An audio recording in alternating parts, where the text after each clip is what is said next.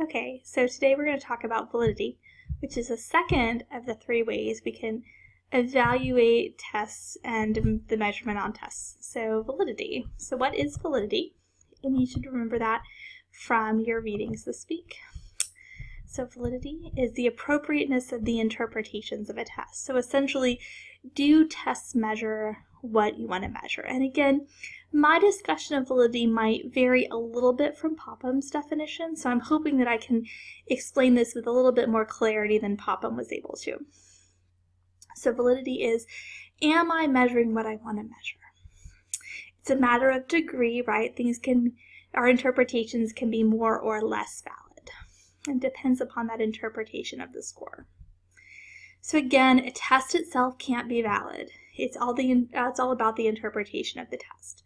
Just like the test can't be reliable, only the scores on tests. So I can't say, well, the WISC is a valid test. It's only the interpretations that I make about it, about the WISC score that can be valid. So just be really careful when you're writing up your lab, your um, standardized case study this week that you're careful about your language here.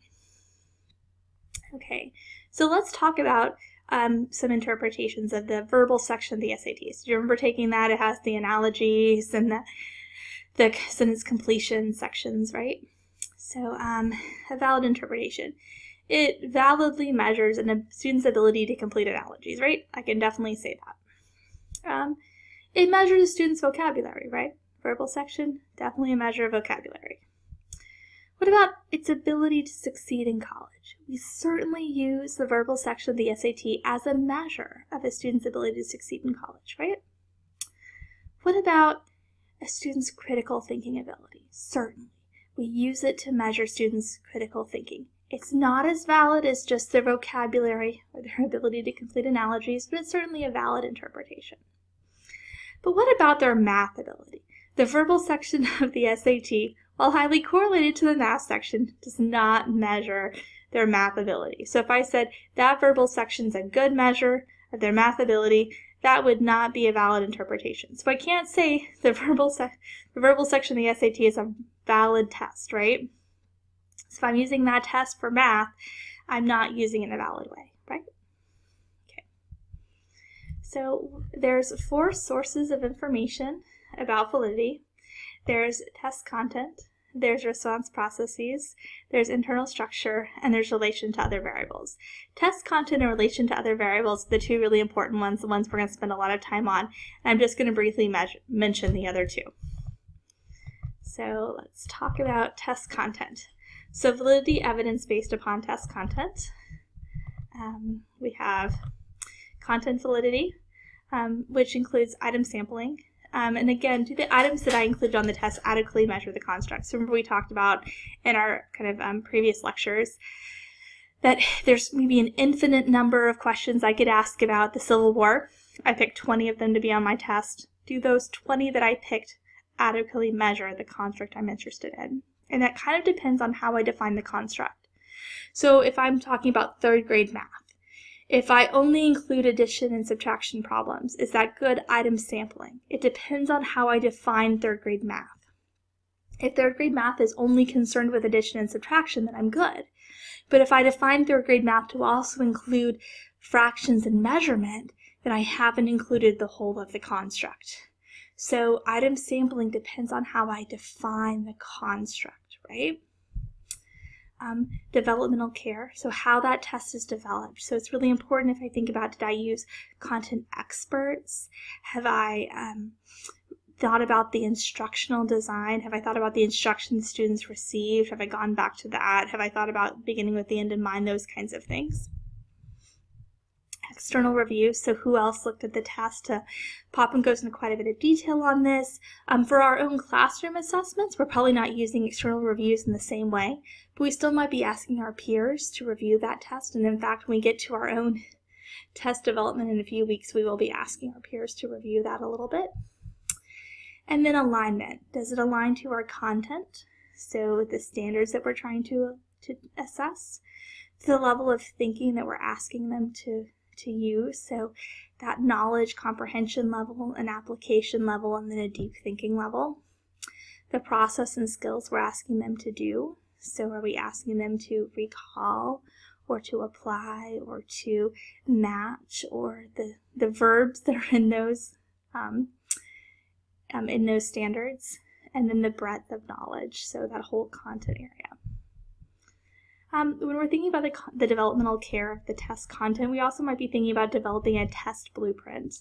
Um, there's an outline of the objectives with the percent of content that each objective should have. This helps us really plan um, systematically what's on the test.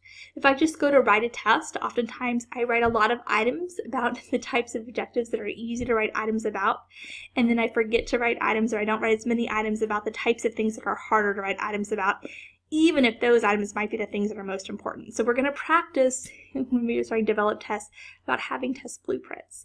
You can also look at the test blueprints for our major test tests in our state and see what will be on that test. It'll help us prepare our students and know what's really important. It usually tells us the level of thinking that's needed and it helps systemize our thinking and professional development or professional judgment. So here's an example of a sample test blueprint. So you can see um, here's the learning objective, here's the, the level of thinking that's required, and here's the number of tests and the point value, so the percent weight of the test. So we can see that each learning outcome has a taxonomy classification and and um, a number of test items. I could also here have um, the type of items and then how many of each item type for each um, objective. And we'll look more at that later when we get to test development as well. But just know that we need to be systematic in the way that we develop tests, and it's easier to do that in the test development process. We can also have evidence based upon response processes. And again, we're not using this a whole lot in the test development, but, but this is really where we're thinking about how the students and what types of processes they're using to, um, to answer test items. So it's really this analysis of, of how they're answering. Also, evidence based upon internal structure, so that Remember that construct is that um, unobservable trait or characteristic, that latent variable that we're measuring, and um, how well that construct is, defi is defined was based upon that internal consistency reliability that we talked about um, when we talked about reliability. So how well is that construct defined and how well do we match to that? Um, again, we're not using that a lot on in educational tests. It's more used for things like um, affective measures. And then finally, we'll talk about validity evidence based upon relations to other variables. And there's a couple of different ways that we can really think about this relation to other variables. So, um, and this will go back to our discussion of correlations if we think back to um, last week's um, PowerPoints. So these test criterion relationships and convergent discriminant evidence. So first we'll talk about test criterion relationships. So how well does the test predict some sort of criterion variable? Um, so uh, the kind of classic example here is SAT and college GPA. So how well does the SAT predict college GPA? And the answer is it's not the best predictor. In fact, high school GPA is a much better predictor of college GPA, but certainly SAT is one predictor, right? Um, and we're thinking about how valid or reliable are these criterion variables. How well does the SAT predict GPA? And that would give us an idea about how um, how valid the SAT is in its use um, for college admissions, right? And we call this predictive evidence.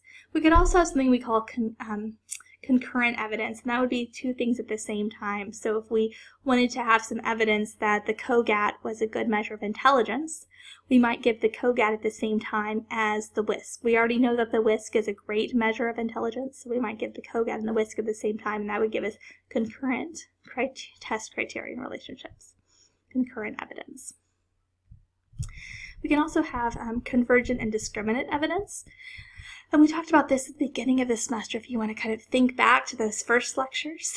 Um, so the final exam in the state EOC would be an example of two measures of the same construct in different ways and discriminant evidence. Um, so we would expect different scores, right? I mean, the same scores on convergent evidence, I'm sorry. So um, those are two different measures. One was a teacher created test, one was a state created test. We would expect similar scores, right? Convergence. Discriminant would be um, the same type of test, the reading and the math FSAs.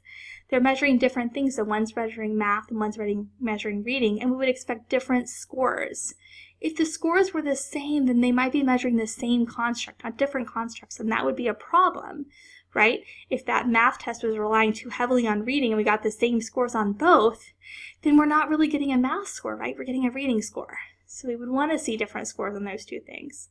We also might get discriminant evidence by giving it to two different populations, right? So if I wanted um, evidence, discriminant evidence for a for a physics test, right? And I gave this um, physics test to to all of my education majors, and I gave it to a bunch of physics majors, and you guys got the same score on the test. I might think, wow, either my education students know a lot about physics, or I didn't make a very good physics test, right?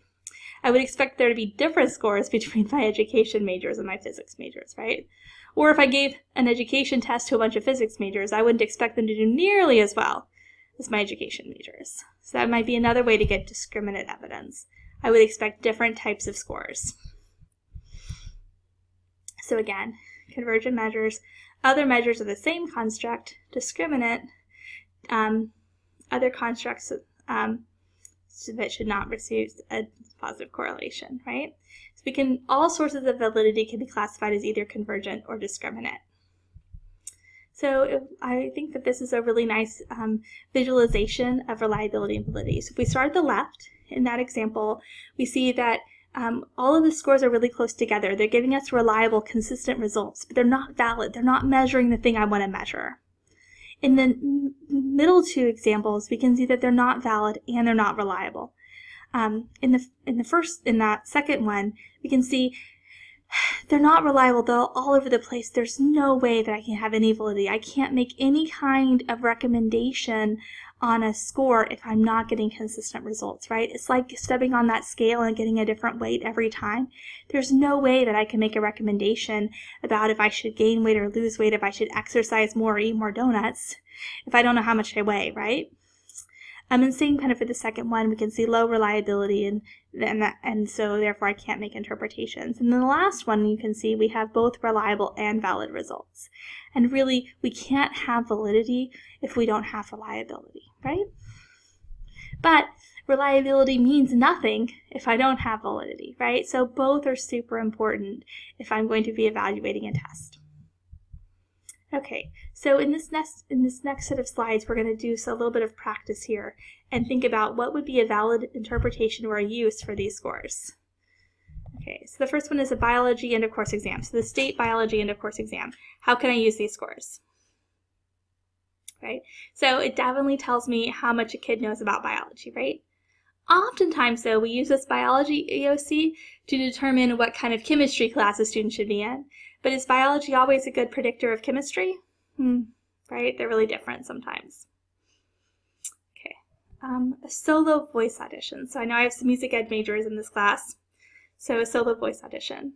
We oftentimes use solo voice auditions in order to um, predict who should be in which choir. Just because I sing well in a solo audition, does that mean that I'm going to do well in a whole choir and blend well with a group? I actually don't know because I'm not a musician, but you guys can tell me. Okay. Um, remember that PPVT, that early childhood receptive vocabulary test? Um, how can I interpret those results? What are some ways in which I could use those results? Yeah, it tells us about what a kid knows, what words they understand, right? That might be good for placement into um, an English program or an ELL program, right, a TESOL program. Um, it might also tell us um, what their what their um, how well our, our our early childhood program is doing at teaching language right? We know language is a big predictor of reading. What about an essay exam on the civil war? It certainly tells us something about what they know about the civil war right? But what other things does it tell us probably tells us something about their reasoning abilities right and also their ability to write and specifically to write about history right which maybe is a different skill than writing in their english class Okay, math word problems. Of course, there's some amount of computational skill that's involved, right? Um, also reading, right? You have to be able to read the problem. And then there's some amount of problem solving skills here too, right? So can they solve this problem? What about the fifth grade science FCAT? I wish I could say that it was just what they learned in science in fifth grade, right? That's actually, right, K through 5 science. Unfortunately, it's mostly what they were able to cram into fifth grade, right? Okay. Um, this is the advanced placement art portfolio, right? Um, and I don't know how many of you guys, any of y'all take um, AP art in high school? So this is a little bit different than the other AP programs. And this, um, in AP art, the students actually put together a portfolio of their own work and they take, they photograph that work. And then they, it's all around a theme and they have to show um, their expertise in the different media of art. So um, it's not just their skill in working with different art media, but it's also their ability to think about a theme. And it also has something to do with how well they photograph their work, right? Um, so it's a bunch of different skills involved. So that interpretation is maybe how well they would perform in a high, in a college level work, right? So this is the in-class activity, and um, if you want to pause your video and kind of work through this activity, um, I want you to think about um, how you could collect data for each of these um, ideas. So students' vocabulary, their reasoning skills, writing, um, understanding the scientific method, music ability, and physical fitness. And this is just kind of like an activity you can do on your own. If you have questions or you're not able to do this activity, I encourage you to contact me. You can email me and we can set up a time to talk on the phone or in my office um, so we can talk through these issues so that I can make sure that you understand before you get ready for that celebration of learning so that you're ready for that standardized case study assessment. I also encourage you to make sure that you've been working on that case study assessment. If you have any questions about the interpretation of that data, please let me know before Sunday night so that I can help you. Um, we can set up a meeting in my office. I'm happy to um, talk through some of that data with you to make sure that you really understand how to write that paper. And I look forward to reading them this week. Bye!